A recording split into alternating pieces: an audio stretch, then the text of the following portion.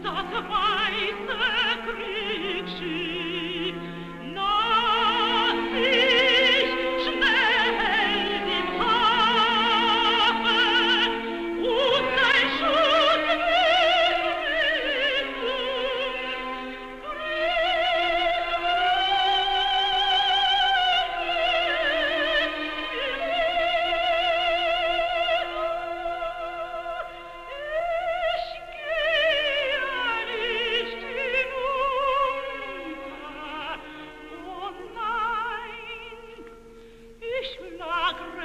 Pianista corepetitoare Lise Georgescu, în virtutea profesiei sale, mulți ani la rând a fost învâltoarea vieții muzicale bucureștene.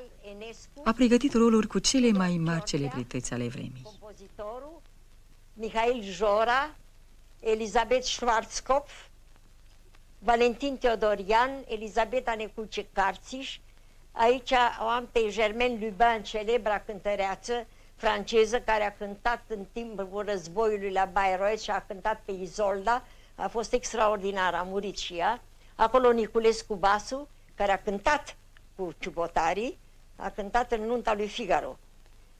Acolo profesorul meu de pian de la Dresda, aici Ernest Anserme, celebru dirijor elvețian.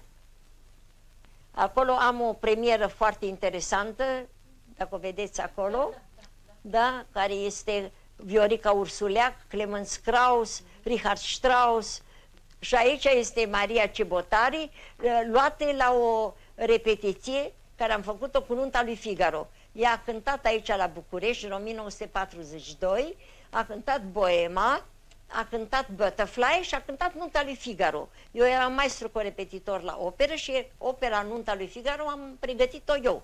Și cântam recitativele, că știți că în în nunta lui Figaro există recitativele și eu le cântam la pian.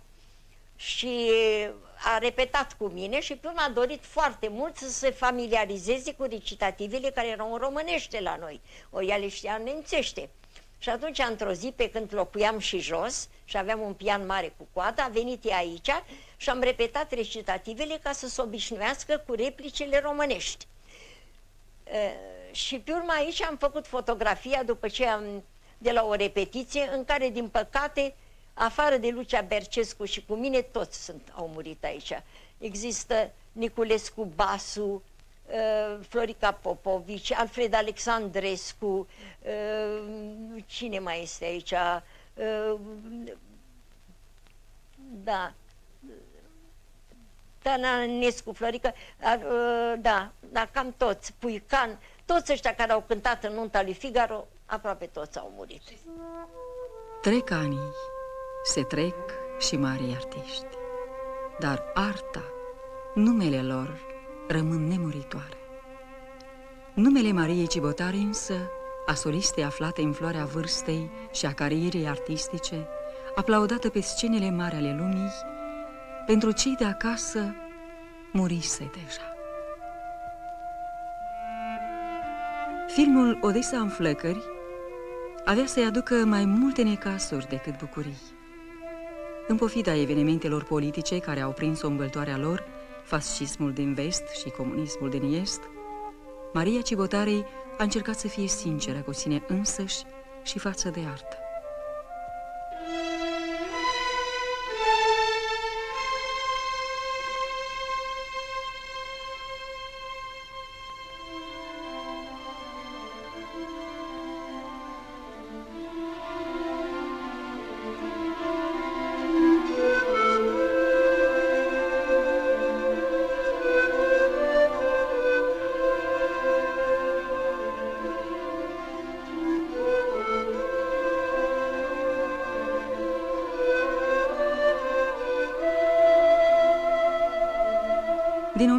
1942, Maria Cibotare nu mai revine niciodată în patrie. Admiratorii de acasă o puteau asculta doar la postul de radio, ca de altfel și Tatiana Oancă, rudă apropiată a familiei Cibotare.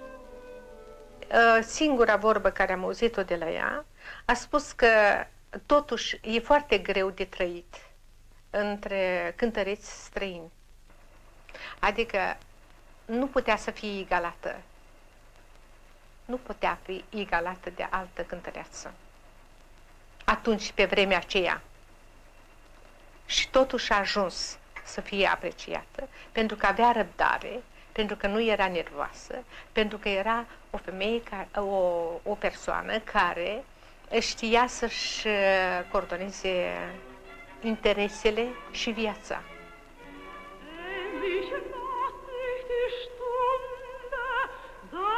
Fost un om fericit. Și când a ajuns uh, celebră și s-a transmis direct la Chișinău prin uh, radio. Se minte că toată lumea s-a așezat și a început să asculte cum cântă dânsa. S-a adunat în casă la mama dânsii, tete Olea. S-a, adunau toți vecinii să, să o ascultăm la Berlin. Pentru noi a fost o mare bucurie.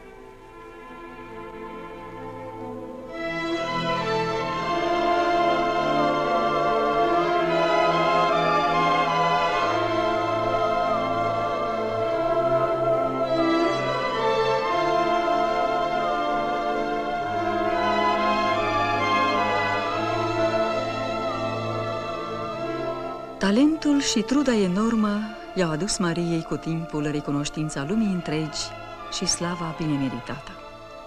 Dar toate acestea aveau să vină mult mai târziu. Deocamdată însă, la 1929, după primele aplauze la București, Maria Cibotari, în componința grupului praghez, își pregătește geamantanele pentru Paris, cu speranța în adevăratul triumf ce o așteaptă.